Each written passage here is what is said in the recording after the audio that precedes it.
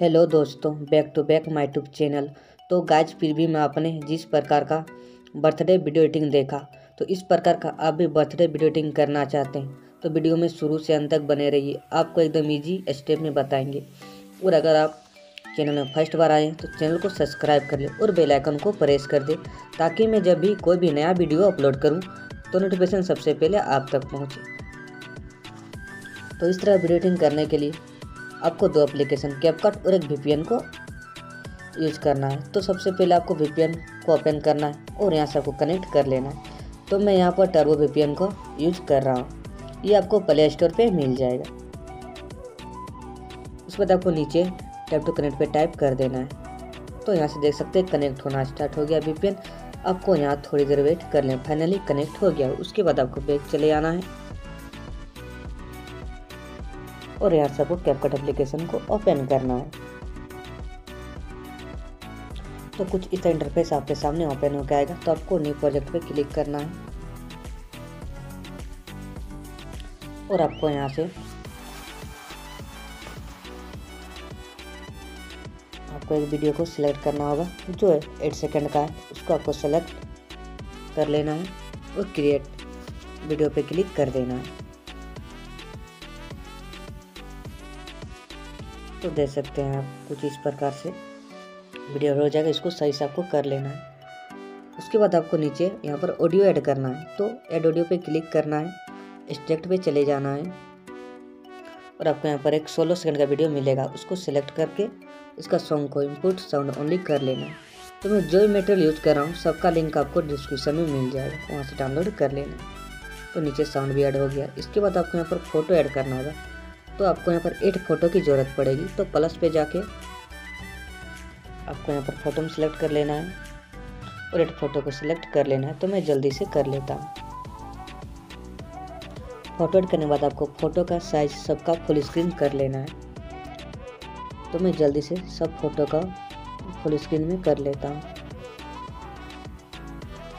Photo को full screen size में करने के बाद फ़ोटो का ड्यूरेशन आपको ऐड करना है। तो फैट पर ड्यूरेशन रहेगा।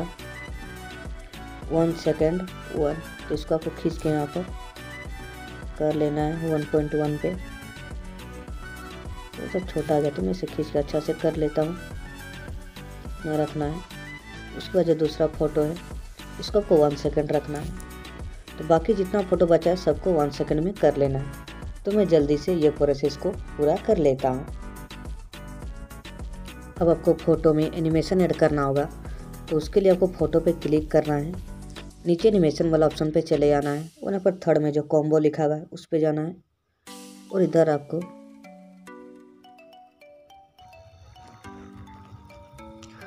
तो वेब ऑप्शन करके आपको मिलेगा यहाँ पर एनिमेशन तो आपको जैसे स्लाइड करते हुए जाना है। आपका आगे भी हो सकता है या पीछे भी। तो मैं यहाँ पर ढूंढ लेता हूँ। तो फाइनली मेरा यहीं पर है तो इसको इस पर टच कर देना। तो ऐड हो जाएगा तो सभी फ़ोटो में आपको इसी एनिमेशन को ऐड करना होगा। तो मैं जल्दी से एनिमेशन को सारे फ़ोटो में अप्लाई कर लेता हूँ। आप भी जल्दी से कर लीजिए। सारा फ़ोटो में एनिमेशन कट करने के बाद आपको सबसे आगे चले आना है, जहाँ फ़ोटो के तो और आपको यहाँ पर इफ़ेक्ट पे चले जाना है वीडियो इफ़ेक्ट पे। तो आपको थोड़ी देर वेट कर लें लोडिंग ले रहा है। तो आपको ट्रेंडिंग में ही एक इफ़ेक्ट देखने को मिलेगा वाइट प्लस टू इसी को आपको ऐड करना है। तो आपका आगे पीछे हो सकता है तो आपको ढूंढ लेना है वाइट प्लस टू इफ़ेक्ट तो मैं यहाँ पर अपना मैं ढूंढ लेता हूँ।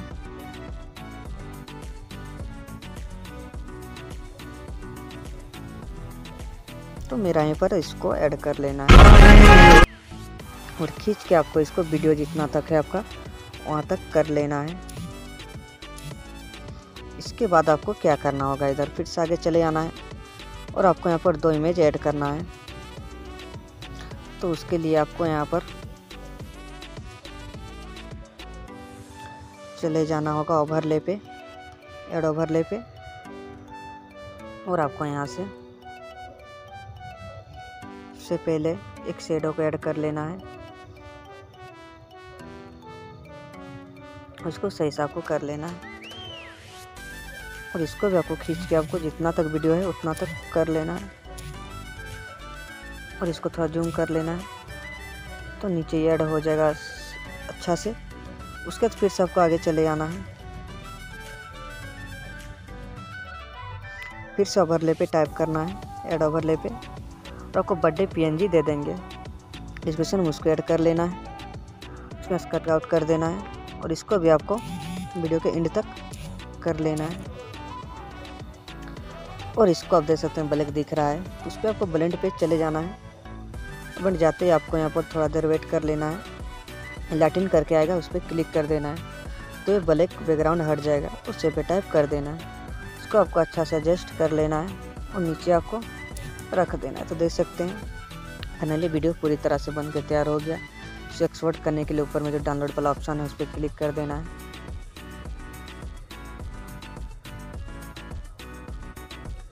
और सेव टू डिवाइस कर देना है तो वीडियो सेव होना स्टार्ट हो जाएगा। आपको थोड़ा देर यहाँ पर वेट कर लेना है।